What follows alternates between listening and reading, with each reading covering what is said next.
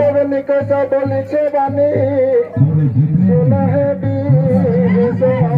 तुम्हें